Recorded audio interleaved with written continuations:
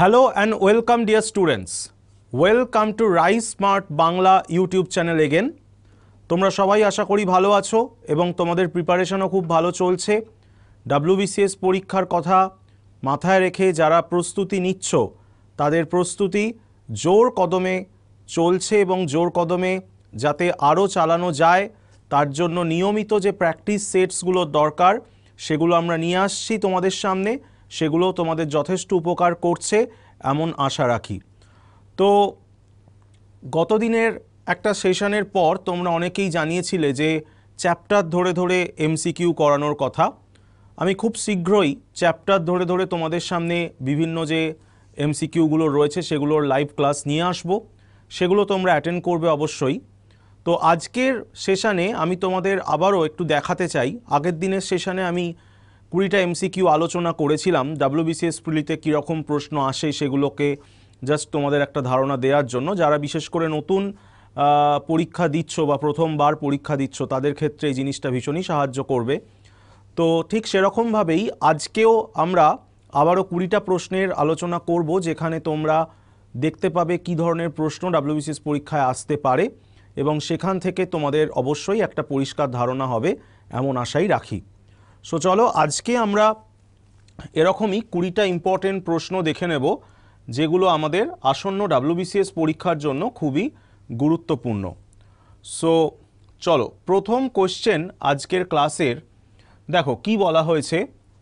Which of the following cell organelle is present in plant by which they are able to make their own food through photosynthesis তাহলে photosynthesis, এটার বাংলা মানেটা কি?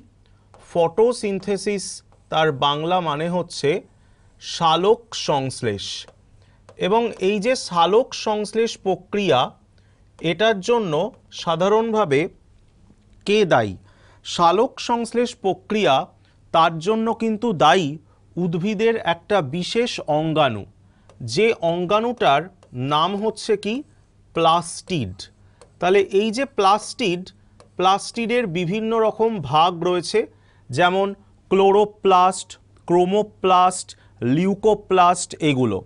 তো উদ্ভিদের সালোক সংশ্লেষকারী অঙ্গ হিসেবে আমরা কিন্তু ক্লোরোপ্লাস্টকেই চিনি, তাই খুব স্বাভাবিকভাবে ক্লোরোপ্লাস্টই এই প্রশ্নটার সঠিক উত্তর হবে। মনে রাখবে, ক্লোরোপ্লাস্ট এটা সাধারণভাবে কি পরিচিত, কি হিসাবে পরিচিত? That is cell's kitchen. কোষের রান্নাঘর নামে পরিচিত বা যেহেতু সালোক সংশ্লেষ প্রক্রিয়ায় শর্করা তৈরি হয়, সেই জন্য আমরা ক্লোরোপ্লাস্টকে সুগার ফ্যাক্টরি এই বলেও কিন্তু অভিহিত করে থাকি। তাহলে এখানে সঠিক উত্তর হলো ক্লোরোপ্লাস্ট। ওকে চলো। সালোক সংশ্লেষ প্রক্রিয়ায় অবশ্যই তোমরা এটা নিশ্চয়ই জানো যে কার্বন ডাই অক্সাইড এবং জল তাদের বিক্রিয়ায় কি হয়? অক্সিজেন নির্গত হয় এবং উপজাত বস্তু হিসাবে গ্লুকোজ তৈরি হচ্ছে।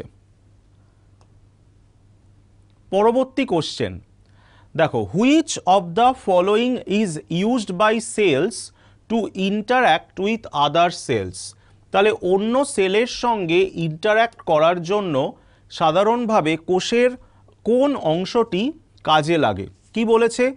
Cell tubules, cell junctions, cell adhesions, cell detectors. এই প্রশ্নটার সঠিক উত্তর কি হবে? এই প্রশ্নটার সঠিক উত্তর যেটা হবে সেটা হচ্ছে সেল জাংশনস। যেমন এখানে দুটো আরও প্রশ্নের উত্তর তোমাদের দিয়ে দেয়া যাক। যেমন প্ল্যান্ট প্ল্যান্ট কানেকশন বা প্ল্যান্ট সেলের সাথে প্ল্যান্ট সেলের যে কানেকশন সেটাকে আমরা কি বলি? সেটাকে আমরা বলি plasmodesmata connection between adjacent plant cell this is plasmodesmata আবার connection between adjacent animal cell তাকে আমরা কি বলি? ডেসমোজোম। তাহলে এগুলোই কিন্তু বিভিন্ন ক্ষেত্রে সেল জাংশনস। তো এই ডেসমোজোমস, এগুলোর আবার বিভিন্ন প্রকার ভাগ আছে, যেমন tight junction, gap junction, hemidesmosomes ইত্যাদি ইত্যাদি। সেগুলোর মধ্যে আর যাচ্ছি না। তাহলে সেল জাংশনস, তার মাধ্যমেই সেল কিন্তু একটা সেলের সাথে আর একটা ইন্টারাক্ট করার সুযোগ পায়। ওকে, পরবর্তী কোশ্চেনে চলে যাই। নেক্সট দেখো কি বলেছে? In which of the following type of cell sarcoplasmic reticulum is found তাহলে সার্কোপ্লাজমিক রেটিকিউলাম দেখো, এটা আসলে কি? সার্কোপ্লাজমিক রেটিকিউলাম এটা হচ্ছে modified endoplasmic reticulum this is what modified endoplasmic reticulum এবং এই যে এন্ডোপ্লাজমিক রেটিকিউলাম এন্ডোপ্লাজমিক রেটিকিউলামের কাজ কি? এটা কোষের সাইটোস্কেলিটন ফর্ম করে বা কোষীয় কঙ্কাল তৈরি করে। তাহলে আজকে দেখো, এই যে সার্কোপ্লাজমিক রেটিকিউলাম এটা কাদের এন্ডোপ্লাজমিক রেটিকিউলাম পেশিকোষ বা মাসেল সেলের এন্ডোপ্লাজমিক রেটিকিউলাম এবং এই মাসেল সেলসগুলো আজকে খুবই স্পেশাল হয়েছে। তাদের যে একটা ইলংগেটেড স্ট্রাকচার আমরা দেখি, সেটা কিন্তু এই সার্কোপ্লাজমিক রেটিকিউলামের জন্যই সম্ভব হয়েছে। তাহলে এই প্রশ্নটার সঠিক উত্তর আমরা বুঝতেই পাচ্ছি মাসেল সেলস হবে। তোমরা পাশের যে ছবিটা রয়েছে, সেই ছবিতে দেখতেই পাচ্ছ, এখানে সার্কোপ্লাজমিক রেটিকিউলাম দেখানো হয়েছে এবং তারও ঠিক বাইরে দেখো সার্কোলেমা দেখানো হয়েছে। এই যে সার্কোলেমা এটার প্রসঙ্গে বলি this is what this is the covering বা sometimes this is the membrane of muscle cell this is membrane of muscle cell so কিছু কিছু ক্ষেত্রে তোমরা প্রশ্ন এরকম পেতেই পারো which of the following is covering of muscle cell or which of the following is membrane of muscle cell তার উত্তর কি হবে? সার্কোলেমা ওকে পরবর্তী কোশ্চেনে চলে যাচ্ছি। দেখো Apis dorsata is used to refer to Apis dorsata. সাধারণভাবে বুঝতেই পারছ, এটা মৌমাছির বৈজ্ঞানিক নাম। কিন্তু মৌমাছির বিভিন্ন প্রজাতি আমাদের ভারতবর্ষে বি- পৃথিবীর বিভিন্ন প্রান্তে পাওয়া যায়। তাদের বৈজ্ঞানিক নামও বিভিন্ন রকম এবং সেগুলোর কিছু কমন নামও রয়েছে। তাহলে এপিস ডরসাটা, এটা সাধারণভাবে কার জন্য প্রযোজ্য? এপিস ডরসাটা যার জন্য প্রযোজ্য সেটা হচ্ছে রক বি বা সামটাইমস এপিস ডরসাটাকে আমরা জায়ান্ট বি বলেও অভিহিত করে থাকি। ওকে? তাহলে এবারে সাধারণভাবে এপিস এর যে চারটে প্রজাতি আছে যেগুলো নিয়ে আমরা কাজ করি বা এপি কালচার তার মধ্যে আমরা যে চর্চা পাই, সেগুলোতে তাহলে কি কি আসবে? দেখো, তাহলে এখানে আমি একটু লিখে দিই। ইন্ডিয়ান বি তাকে আমরা কি বলব? বা তার বৈজ্ঞানিক নাম কি? Apis indica. এপিস ইন্ডিকা হচ্ছে ইন্ডিয়ান বি। এপিস ডরসাটা হচ্ছে জায়ান্ট বি বা রক বি।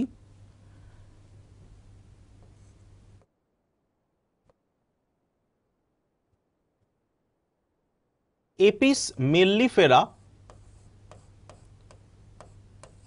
এটা হচ্ছে ইউরোপিয়ান বি বা ইটালিয়ান বি বলা হয় এটাকে, ঠিক আছে? আর এপিস ফ্লোরেয়া, এটা হচ্ছে কি? Little bee.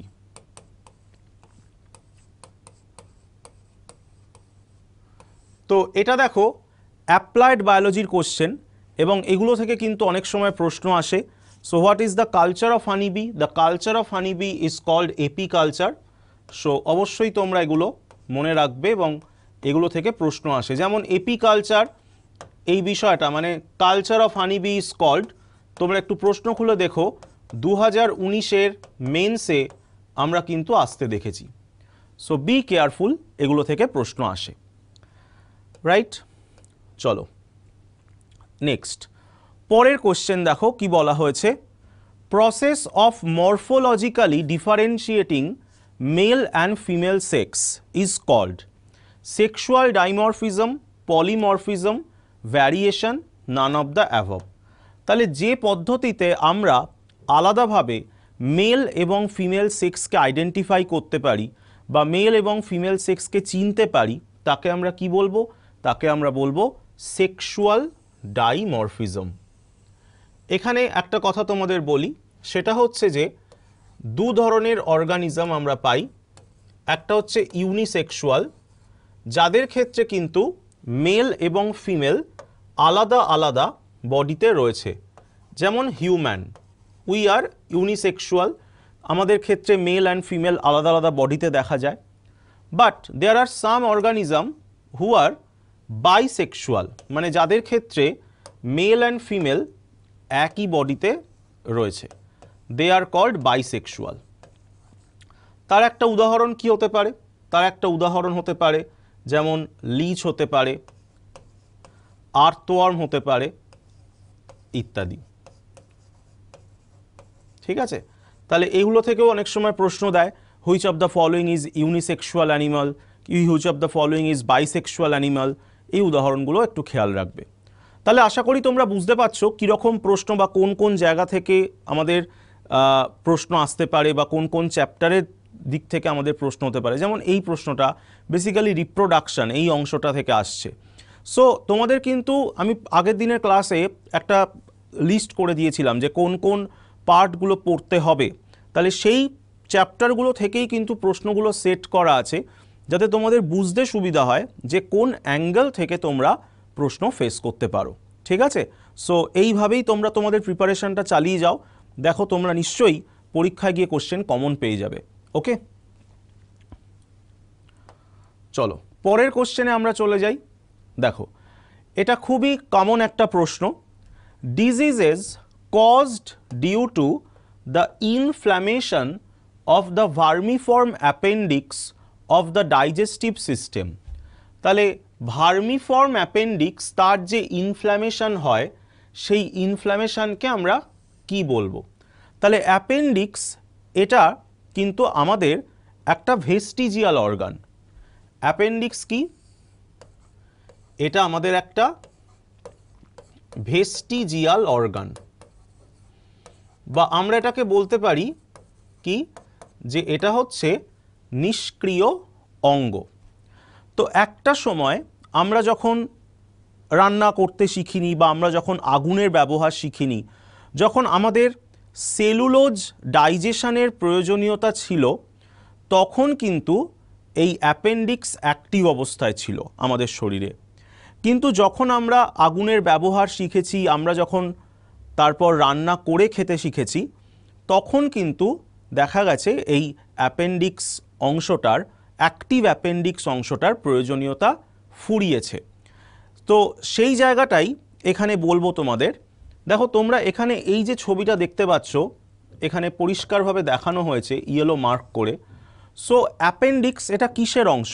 It's a extended part of large intestine বা বৃহদন্ত।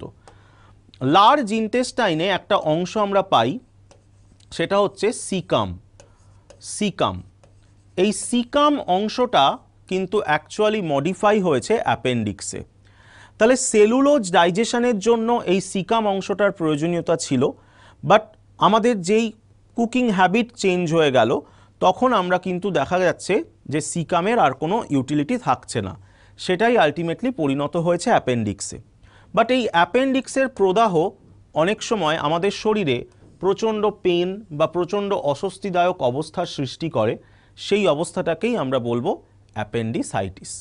তাহলে এটার মেন জায়গাটা, অর্থাৎ এই যে পরিণতিটার কারণ হচ্ছে কি বা চেঞ্জটার কারণ হচ্ছে কি কুকিং হ্যাবিট ঠিক আছে? সো এরকম প্রশ্ন অনেক সময় দেয় why caecum is modified in our body to for change of habitat for change of cooking for change of food এরকম অনেক রকম প্রশ্ন, অনেক রকমভাবে কিন্তু আসতে পারে। যেমন সরাসরিভাবে কিন্তু তোমরা প্রশ্নে পাবে, আমি আগের দিনও এটা বলেছিলাম যে মেন্স দু হাজার প্রশ্ন দেখবে যে which of the following is vestigial organ? একদম প্রশ্ন কিন্তু ডিরেক্টলি দিয়েছে, সরাসরি দিয়েছে। তাহলে এভলিউশনের দিক থেকে এটা কিন্তু রয়েছে। ওকে? চলো, পরের কোশ্চেনে আমরা যাই। খুব ইম্পর্ট্যান্ট একটা কোশ্চেন বাট এই কোশ্চেনটা একটু অন্য রকম মানে একটু অন্য শব্দ দিয়ে প্রশ্নটা রাখা হয়েছে। দেখো, এখানে দেখতে পাচ্ছি কি বলছে in Ayurveda the disease that is called visuchika ভিসুচিকা কাকে বলা হয়? আয়ুর্বেদ শাস্ত্র অনুসারে। তোমরা যারা জানো ঠিক আছে বাট যারা জানো না, তাদের জন্য বলে রাখি, এটা কিন্তু হচ্ছে কলেরা। এই কলেরা রোগটাকেই বলা হয় ভিসুচিকা যেটা করে কে? ভিব্রিও কলেরি বলে একটা ব্যাকটেরিয়া অন্যদিকে আমরা দেখতে পাচ্ছি চিকেন পক্স বা স্মল পক্স রয়েছে। চিকেন পক্স বা স্মল পক্স কিন্তু ভাইরাস ঘটিত রোগ। ভ্যাকসিনিয়া, ভ্যারিসেলা, এগুলো সাধারণভাবে এর জন্য দায়ী, ভ্যারিওলা। আর ডিপথেরিয়া, এটাও একটা ব্যাকটেরিয়া ঘটিত রোগ। কর্নি ব্যাকটেরিয়াম ডিপথেরি এই রোগটার জন্য দায়ী। তাহলে এগুলো কিন্তু আমাদের অন্য অপশানস থেকেও আমরা অনেক কিছু জানতে পারছি। ঠিক আছে? সো অবশ্যই তোমরা ক্লাস কেমন লাগছে জানাও, আর কমেন্ট করো, ভিডিওটি ভালো লাগলে বন্ধুদের সাথে শেয়ার করো, এবং লাইক করো, আর কমেন্ট করতে ভুলবে না, কারণ তোমাদের কমেন্ট বারবার করে আমরা বলি, তোমাদের কমেন্ট পেলে তবেই আমরা এগোতে পারব আদারওয়াইজ কিন্তু নয়, তোমরাই আমাদের সব ওকে তোমাদের সাফল্যই আমাদের সব, এটা কিন্তু বারবার মাথায় রাখতে হবে। চলো, পরবর্তী কোশ্চেনে চলে যাচ্ছি। দেখো, এই যে ডায়াগনস্টিক টেস্ট পরের কোশ্চেনটা কিন্তু হচ্ছে ডায়াগনস্টিক টেস্ট থেকে। আমি বারবার করে বলেছি, বিভিন্ন সেশনে বা বিভিন্ন সময় ডায়াগনস্টিক টেস্ট কিন্তু তোমাকে পড়ে যেতেই হবে।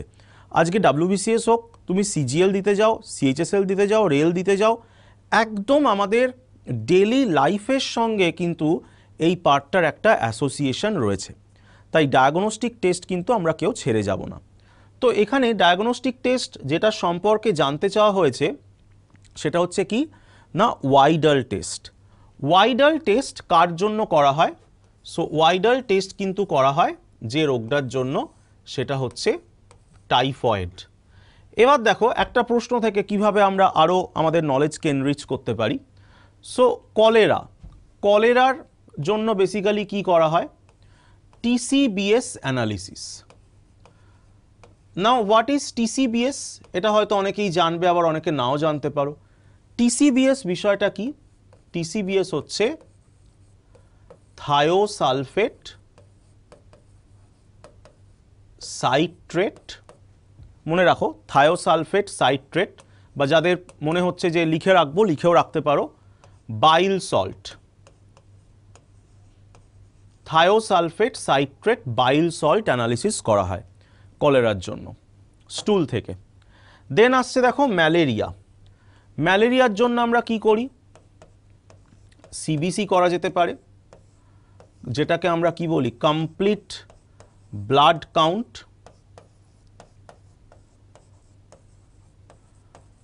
বা যেটা করা যেতে পারে ব্লাডে স্মিয়ার চেক করা যেতে পারে ব্লাড স্মিয়ার অ্যানালিসিস ওকে এগুলো যাদের প্রয়োজন মনে হচ্ছে, অবশ্যই তোমরা তোমাদের যে নোটবুক রয়েছে, সেগুলোতে নোট ডাউন করে নাও। আর ডিপথেরিয়া এটার জন্য যেটা করা হয়, সেটা হচ্ছে কি? এলেক্স টেস্ট ঠিক আছে? তাহলে দেখো একটা প্রশ্ন থেকে আমরা চারটে কিন্তু ডায়াগনস্টিক টেস্ট জেনে ফেললাম, সেটা কোন কোন রোগের সেটাও জানলাম। সো এইভাবেই আমরা প্রিপারেশান নিতে নিতে নলেজকে এনরিচ করব। আমরা যখন এমসিকিউ বাড়িতে প্র্যাকটিস করছি, তার মানে কিন্তু এই নয় যে শুধু সঠিক উত্তরটাই দেখে রেখে দিলাম। তার সাথে সাথে অন্য অপশানস থেকেও কীভাবে প্রশ্ন আসতে পারে বা অন্য অপশানটা আমি কোথায় পড়েছি, এই চর্চাটাও যদি আমি আমার মাইন্ড ম্যাপে রেখে দিতে পারি, তাহলে কিন্তু আমার প্রিপারেশানটা অন্যদের থেকে অনেকটাই ভালো হবে। ঠিক আছে? ওকে চলো যাই আমাদের পরবর্তী কোশ্চেন দেখো, কি বলেছে? এটা তোমরা অনেকেই জানো যে এটিএস তো আমরা ডিরেক্ট অ্যান্টিবডি ট্রান্সফার বিভিন্ন ক্ষেত্রে করে থাকি। সো এটিএস ইনজেকশন তার ফুল ফর্ম কি? সো সাপে কামড়ালে আমরা যেমন দেখেছি দেয়া হয় এভিএস বা অ্যান্টিভেনাম সিরাম ঠিক সেরকমভাবেই এটিএসও ডিরেক্ট অ্যান্টিবডি ট্রান্সফার তাহলে কি হবে? অ্যান্টি টিটেনাস সিরাম ওকে এগুলো হচ্ছে one kind of type of কি? প্যাসিভ ইমিউনিটি আমাদের ইমিউনিটির দু রকম ভাগ হয়। একটা হচ্ছে সহজাত অনাক্রম্যতা বা ইনেট ইমিউনিটি আর একটা হচ্ছে অর্জিত অনাক্রম্যতা বা অ্যাডাপটিভ ইমিউনিটি তাহলে এই যে direct antibody transfer it's one kind of passive immunity বা অ্যাকওয়ার্ড ইমিউনিটি আমরা বলতে পারি। আচ্ছা তারপরে দেখো যেটা আসছে যে a viral disease causing painful swelling of parotid gland তাহলে প্যারোটিড গ্ল্যান্ড তার যে পেইনফুল সোয়েলিং হচ্ছে মানে কি? ফুলে যাচ্ছে। তাকে আমরা কি বলব? নিশ্চয়ই জানো। প্যারোটিড গ্ল্যান্ড দেখো কোথায় আছে? একটু ছবিটা লক্ষ্য করো। প্যারোটিড গ্ল্যান্ড ঠিক রয়েছে আমাদের এই জায়গাটাতে, ঠিক কানের তলাটাতে। তাহলে যখন এরকম কোনো জায়গা যখন ফুলে যায় বা তার যখন সোয়েলিং হয়, সেই রোগটাকে আমরা কি বলি? নিশ্চয়ই তোমরা জানবে দ্যাট ইজ মাম্পস তাহলে সঠিক উত্তর কিন্তু এখানে আমরা পেয়েই যাচ্ছি। মাম্পস। এবং এখানে একটা কথা তোমাদের বলে রাখি, সেটা হচ্ছে এই যে প্যারোটিড গ্ল্যান্ড তোমরা হয়তো পড়েছো, দেখো আমাদের তো তিন প্রকারের স্যালাইভারি গ্ল্যান্ড রয়েছে আমাদের শরীরে, যেমন সাবলিঙ্গুয়াল গ্ল্যান্ড তার সাথে সাবম্যান্ডিবুলার রয়েছে বা সাব ম্যাক্সিলারি রয়েছে। ম্যান্ডিবল মানে কি? আমাদের লোয়ার জ ম্যাক্সিলা মানে কি? আমাদের আপার জ তেমনি parotid gland this is what না this is the largest salivary gland of human body. This is largest salivary gland of human body. Okay done তাহলে এই অবধি যেটুকু হলো, আশা করি তোমরা বুঝতে পেরেছ। সো যারা নতুন দেখছ এই ভিডিও বা নতুন দেখছ এই ক্লাস তাদের বলব প্লিজ আমাদের চ্যানেলটি যদি সাবস্ক্রাইব না করা থাকে, এই ধরনের ক্লাসগুলো নোটিফিকেশান পেতে প্লিজ তোমাদের চ্যানেলের পাশে যে বেল আইকনটি রয়েছে, সেটি ক্লিক করে দাও। দেন, দেখো, এটাও তোমাদের ছোটোবেলায় পড়া একটা জিনিস, পরবর্তী ইলেভেন কোয়েশ্চেন নাম্বার ইলেভেনে আমরা যেটা দেখতে পাচ্ছি, যে দ্য নোড অফ র্যানভিয়ার তাহলে এই যে তোমাদের হিউম্যান ফিজিওলজি আমি বলেছিলাম পড়তে, তাহলে হিউম্যান ফিজিওলজির নার্ভাস সিস্টেম থেকে এই কোশ্চেনটা তাহলে ধরতেই পেরে যাচ্ছ, যে node of Ranvier they are found in node of Ranvier কোথায় পাওয়া যাবে? না নার্ভ সেল দেখো নার্ভ সেল তার তিনটে অংশ আছে আমরা জানি। তিনটে অংশ কি কি? একটা হচ্ছে তার ডেনড্রন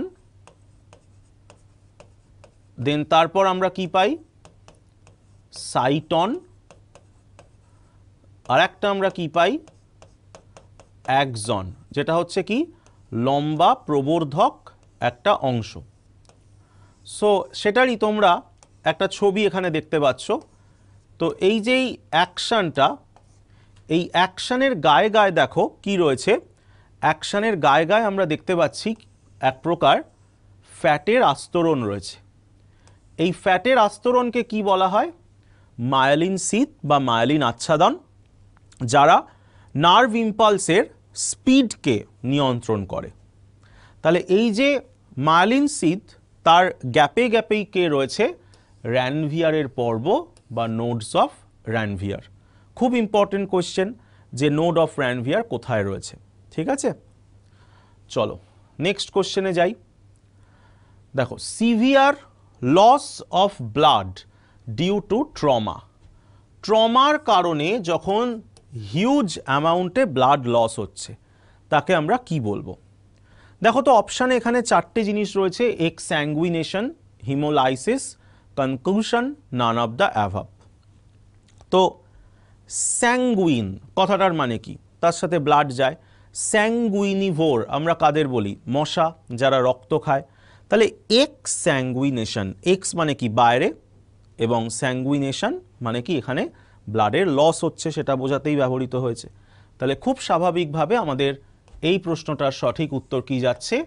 এক্স স্যাঙ্গুইনেশন ওকে তাহলে বারো নম্বর কোশ্চেনের উত্তর হলো অপশন এ চলো, তেরো নম্বর কোশ্চেন, এটাও একটা খুব common question dash is a prenatal test prenatal মানে কি? প্রি ন্যাটাল মানে হচ্ছে জন্ম পূর্ববর্তী।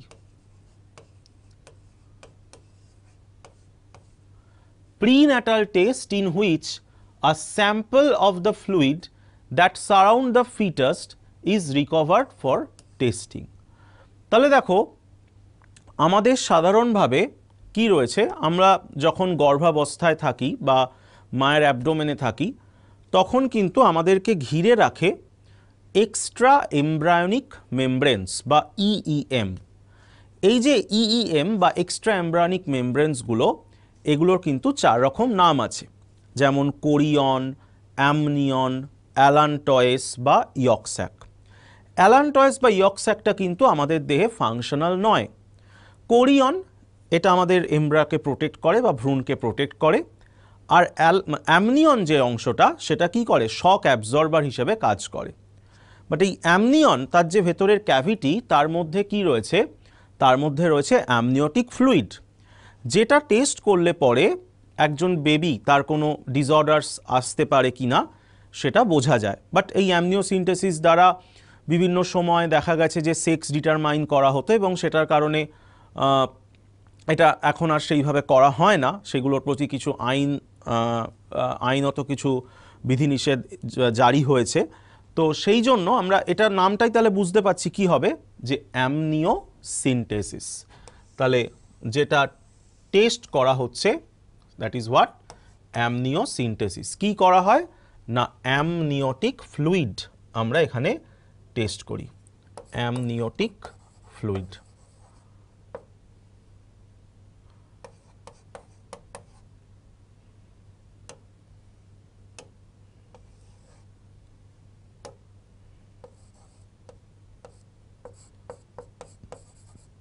ওকে বোঝাই গেল।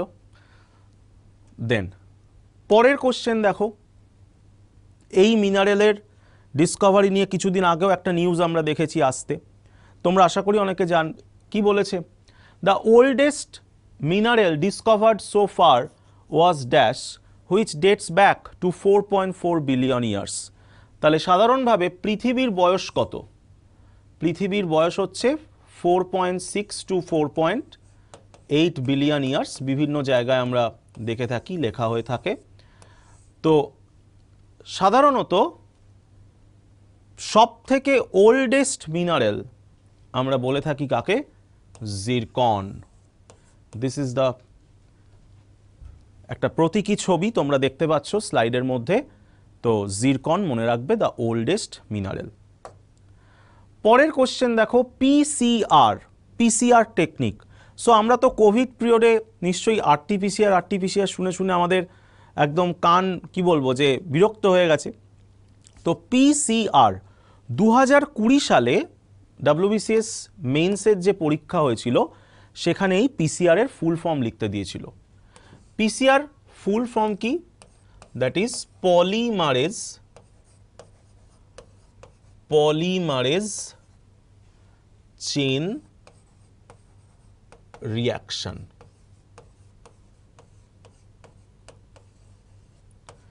এবং এই যে পিসিআর এই পিসিআর এর আবিষ্কর্তা কে ছিলেন? Kary Mullis. এটার মাধ্যমে কি করা হয়? এটার মাধ্যমে ডিএনএ কে কপি করা হয় বা ডিএনএ কে অ্যাম্পিফ্লাই করা হয়।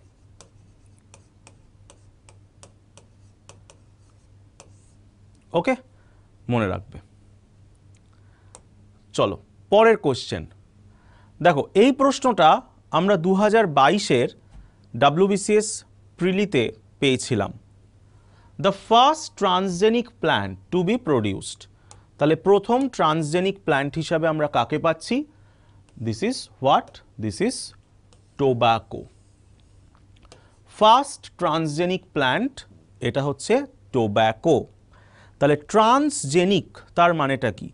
ট্রান্সজেনিকের মানে হচ্ছে যার জিনকে মডিফাই করা হয়েছে যার জিনকে অ্যাকচুয়ালি কি করা হয়েছে? এডিট করা হয়েছে। Transgenic organisms are sometimes called কি? জিএমও বা genetically modified organism okay so এটাও খুব ইম্পর্ট্যান্ট একটা প্রশ্ন। দেন পরবর্তী কোয়েশ্চেনে আমরা চলে যাচ্ছি, দেখো। ওকে আমাদের এর পরবর্তী যে কোশ্চেন রয়েছে, সেখানে দেখতে পাচ্ছি আমরা the dash is a temporary organ that connects a mammalian mother to its fetus তাহলে মাতৃদেহের সাথে কোনো একজন ভ্রূণ বা কোনো একটি ভ্রূণ, সে কীভাবে যুক্ত থাকে? কোন টেম্পোরারি অর্গানের মাধ্যমে?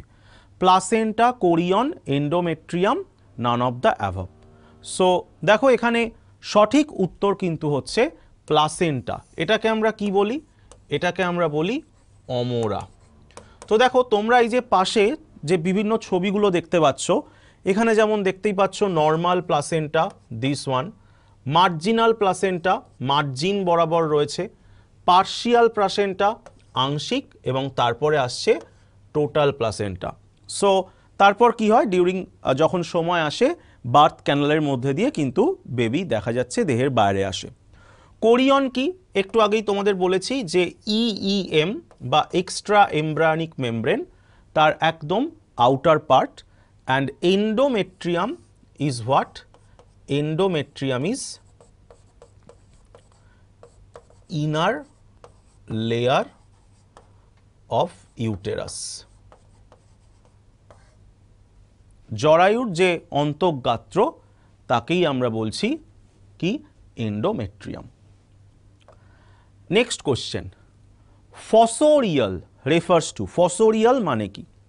দেখো it's a one kind of adaptation there are so many types of terrestrial adaptation like cursorial fossorial scansorial so দেখতেই পাচ্ছ ফসোরিয়াল অ্যাডাপ্টেশনের একটা ছবি, প্রতীকী ছবি। তাহলে সেখান থেকে কি বোঝা যাচ্ছে? কি হবে? এটার সঠিক উত্তর animals that turn into fossils animals that are adapted to burrowing animals that are adapted to climbing none of the above খুব স্বাভাবিকভাবেই বুঝতে পারছ যে এটা সঠিক উত্তর হবে animals that are adapted to burrow তাহলে যারা মাটি খুঁড়ে বাস করে, তারাই হচ্ছে ফসোরিয়াল ঠিক সেরকমভাবে যদি আমরা দেখি কার্সোরিয়াল অ্যাডাপ্টেশন তার মানে কি?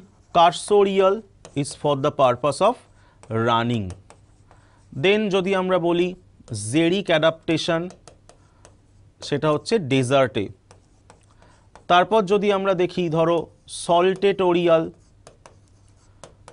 সেটার মানে কি? For the purpose of jumping and যদি আমরা দেখি, ধরো বলা হচ্ছে স্ক্যানসোরিয়াল।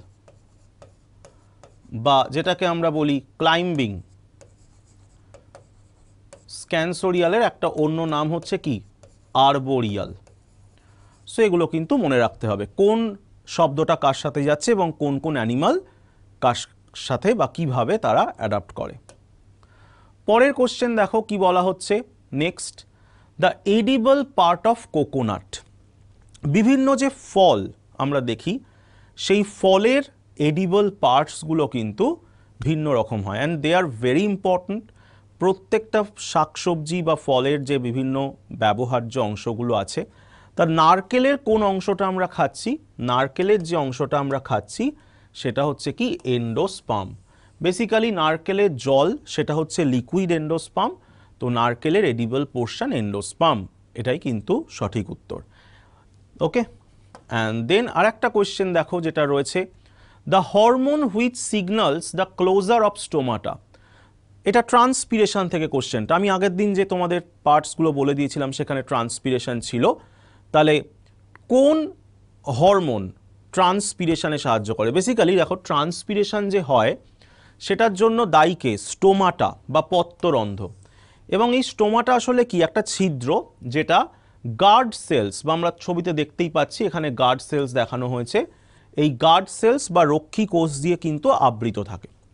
তাহলে এই রক্ষী কোষের খোলা বা বন্ধ হওয়া, এটাই কিন্তু আসলে নির্ণয় করবে যে স্টোমাটার খোলা বা বন্ধ হওয়া। তাহলে দেখো কোন হরমোন স্টোমাটা খুলতে সাহায্য করে? স্টোমাটা খুলতে সাহায্য করে যে hormone this is cytokinin this is transpirant আমরা বলি। বাট এখানে প্রশ্ন বলেছে, স্টোমাটা বন্ধ করতে কে সাহায্য করে? ক্লোজার তাহলে এটা সঠিক উত্তর কি হবে? এটা সঠিক উত্তর হবে অ্যাবসিসিক অ্যাসিড এই হরমোনটা কি? এই হরমোনটা হচ্ছে একটা অ্যান্টি ট্রান্সপিরেন্ট ঠিক আছে? সো এইগুলো মনে রাখবে। Which of the following hormone is transpirant which of the following hormone is anti transpirant এগুলো কিন্তু প্রশ্ন দেয়। প্ল্যান্ট হরমোনের একটা খুব গুরুত্বপূর্ণ প্রশ্ন এটা। ওকে সো ডিয়ার স্টুডেন্টস আশা করি ক্লাসটা তোমাদের ভালোই লাগল। প্রিপারেশান নিতে নিতে শুধু বারবার একটা কথাই বলো, পেতেই হবে ডাব্লিউবিসিএস পেতেই হবে। যে করেই হোক, আমি আমার লক্ষ্যে পৌঁছবই। তাহলেই দেখবে তুমি তোমার প্রিপারেশনটাকে সেইভাবেই কিন্তু করতে পারছ এবং তোমার লক্ষ্যের পথে তুমি এক ধাপ করে প্রতিদিন এগোতে পারছ। সো আজকে আমাদের সেশন এইটুকুই থাকল এবং তোমাদের নিয়েই আমাদের পথ চলা, তোমাদের নিয়েই আমাদের সব কিছু তাই আমাদের মন্ত্র হলো together in success so very all the best for your preparation সবাই খুব ভালো করে পড়াশোনা করো। আবার দেখা হবে পরবর্তী সেশনে। আজকে এখানেই শেষ করলাম। ভালো থেকো সকলে। Thank you